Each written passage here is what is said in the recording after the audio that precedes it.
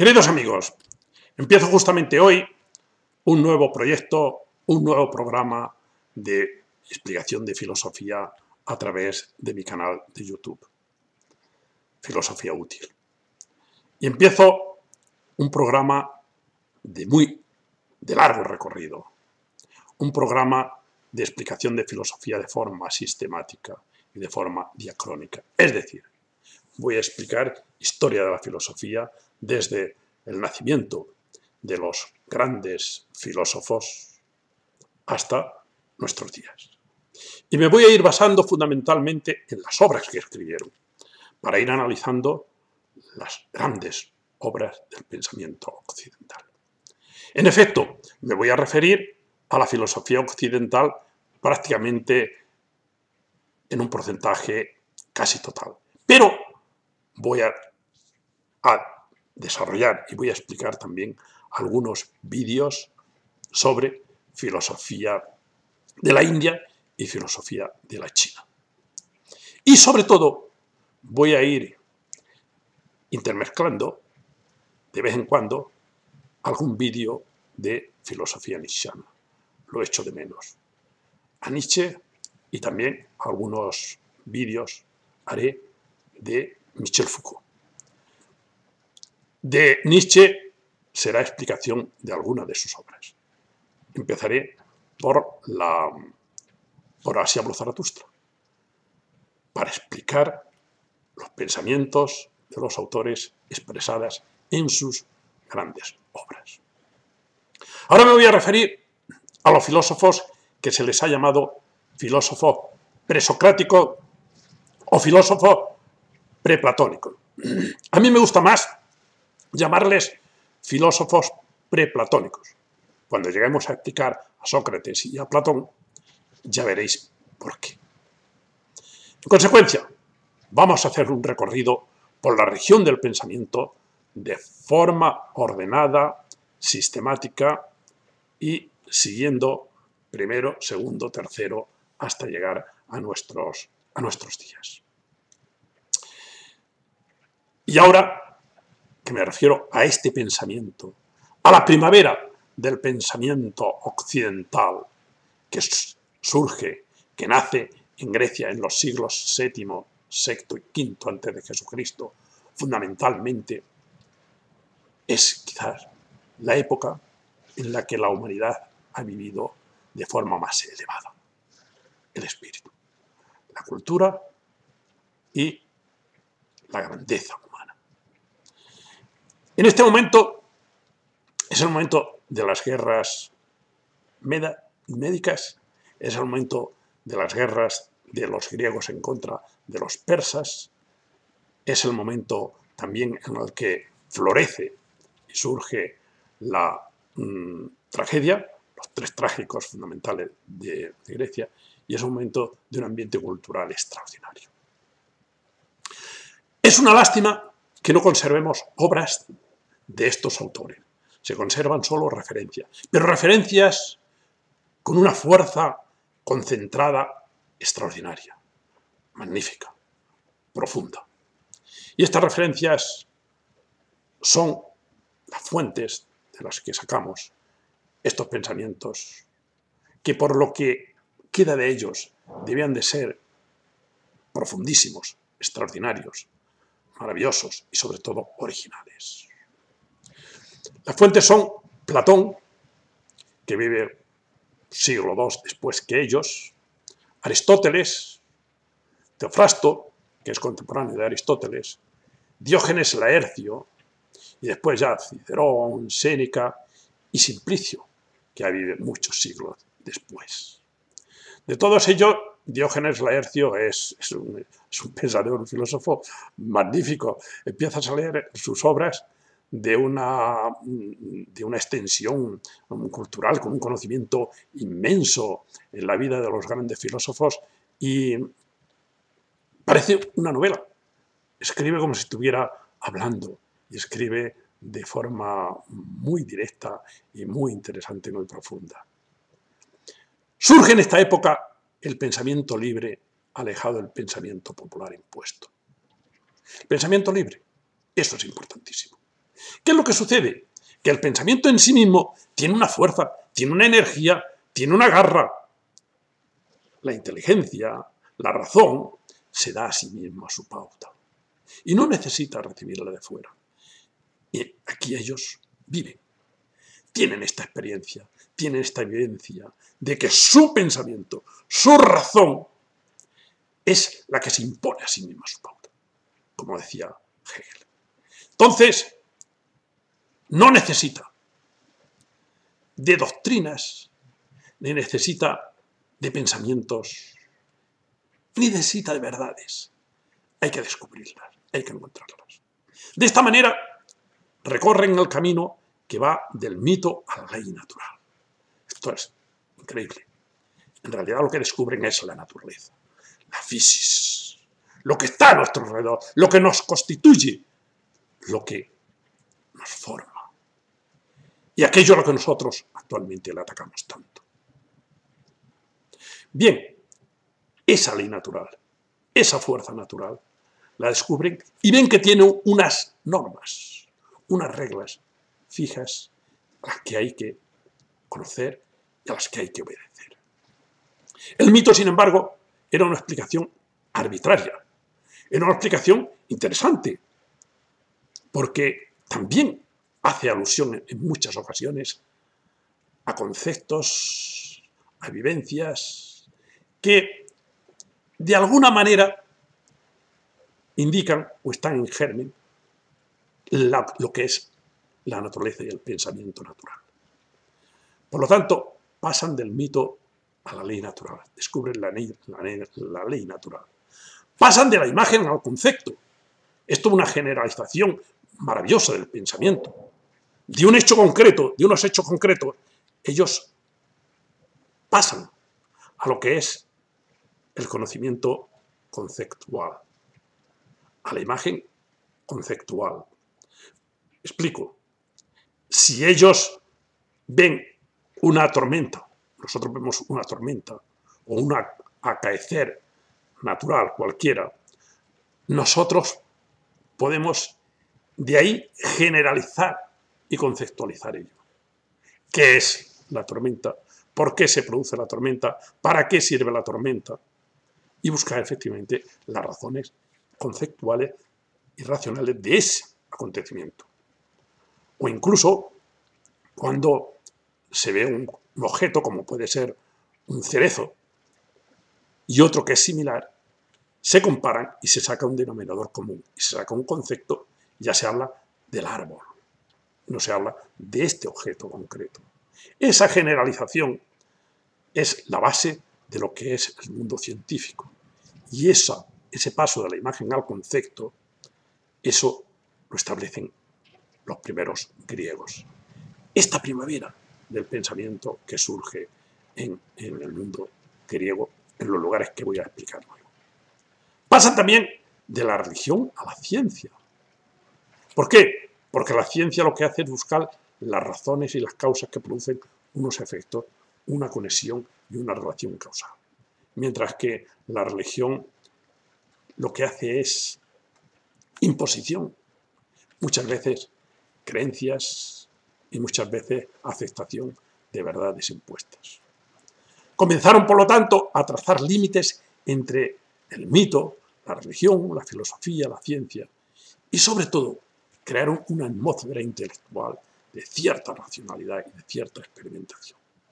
Y de esta manera prepararon el camino a los grandes pensadores posteriores y a los grandes científicos de la ciencia posterior prepararon el camino a Platón y Aristóteles fundamentalmente, Sócrates también. ¿Por qué filosofaron? Estos filósofos. ¿Por qué filosofaron? Filosofaron por dos razones fundamentales. Porque había un ambiente propicio y porque había una grandeza intelectual enorme. Es decir, ¿por qué nace de una bellota una encina? Primero, porque hay un ambiente propicio para que puedan hacer. Ambiente de humedad, de calor, de frío. Y entonces se da ese ambiente. Pero también porque ya está la encina en la bellota, de alguna manera. ¿Y qué es lo que sucede? Que aquí hay un ambiente propicio, pero también es porque lo han preparado ellos. Han preparado un ambiente en libertad, en reflexión, en pensamiento. Y, además, ellos tienen un exceso, una especie de fuerza, energía que desborda, inteligencia que desborda lo, la grandeza intelectual, que desborda la normalidad. Por lo tanto, ¿en qué consiste ese ambiente? ¿Cómo es ese ambiente propicio? Es un ambiente en el que de alguna manera se encuentran ya formas embrionarias de filosofía. ¿Por qué? Porque ya existían mitos, pero mitos muy desarrollados y muy bien explicados en Homero, en la Iliada, en la Odisea, que tuvo mucha suerte este pueblo para tener estos dos libros. También Hesíodo. Entonces, estos libros eran la base de los conocimientos y eran la base de la sabiduría, eran la base de la sabiduría de los niños y de los jóvenes. Se leían y supongo yo que discutían sobre personajes, sobre lo que allí sucedía.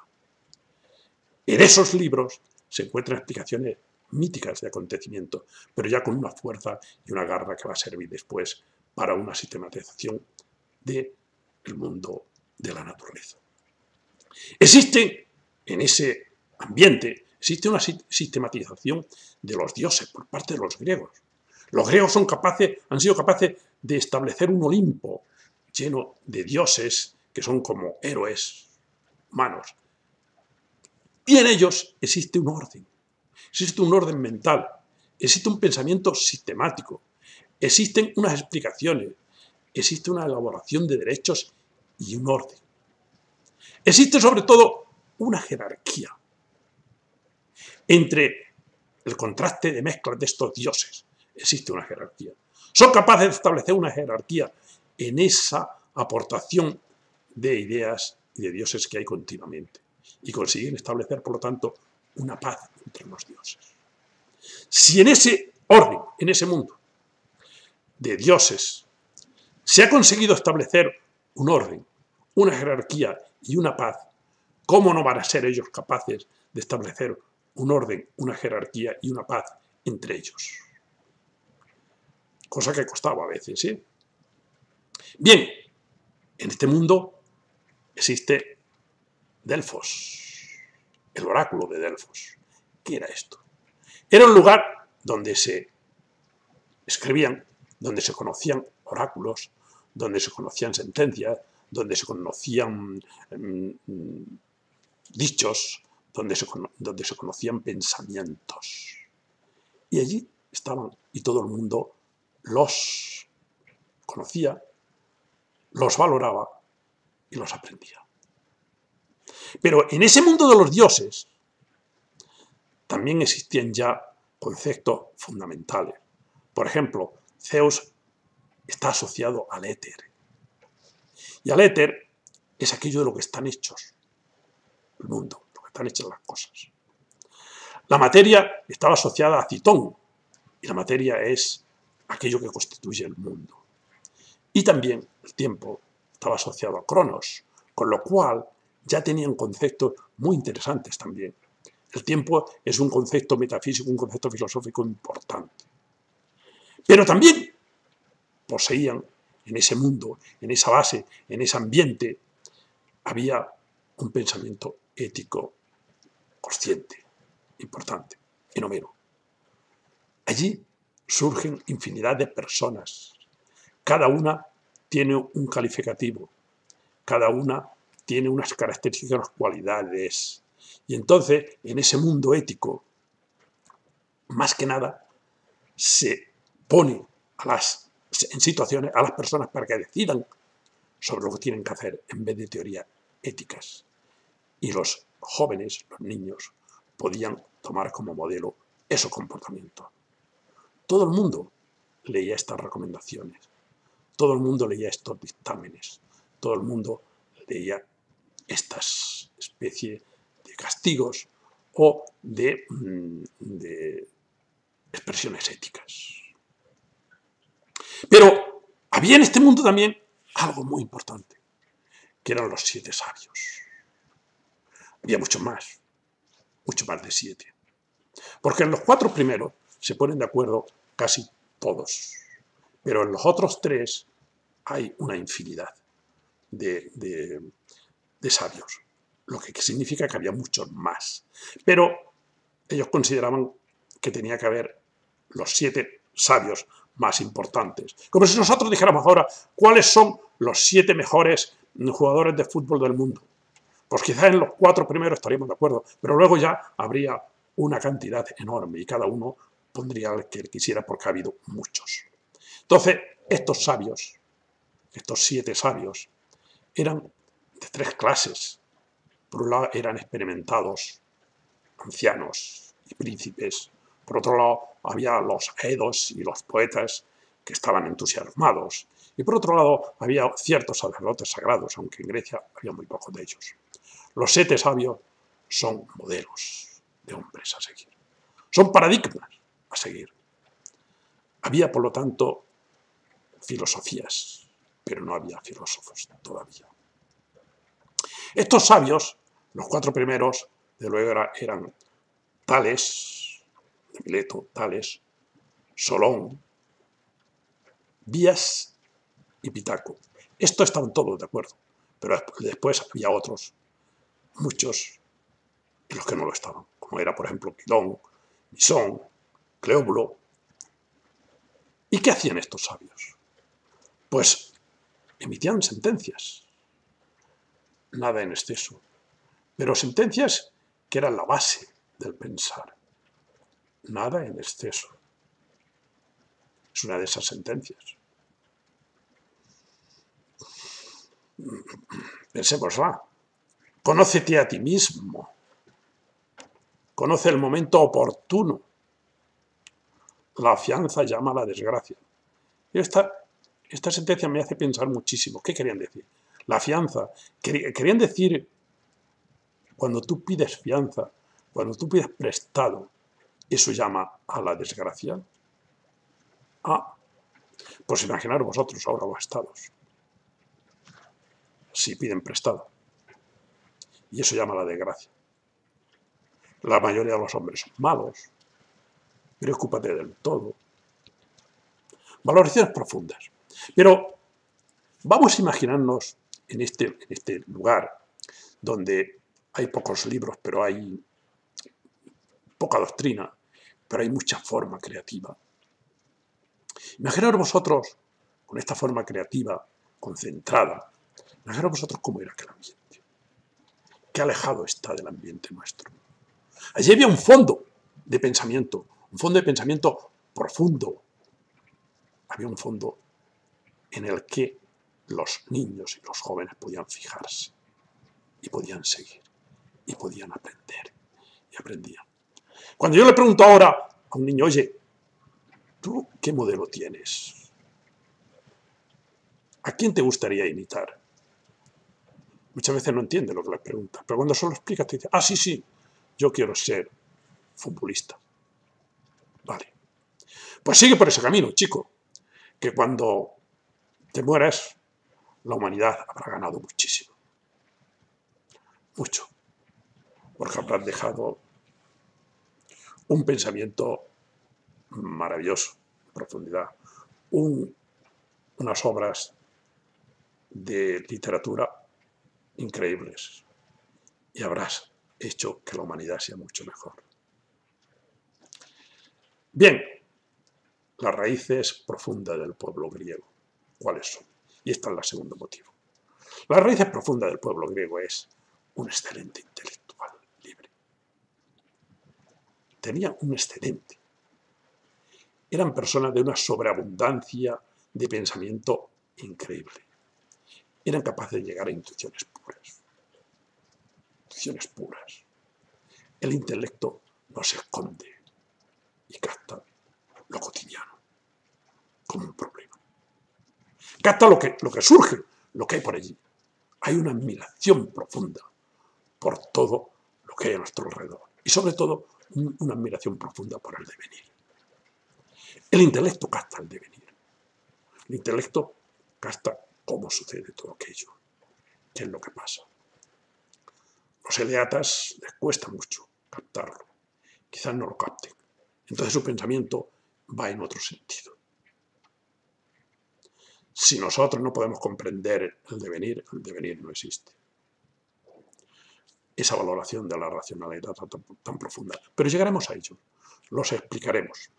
Lo que yo sí quiero decir es que en un mundo de la naturaleza, de contacto con la naturaleza, de estar allá con la naturaleza.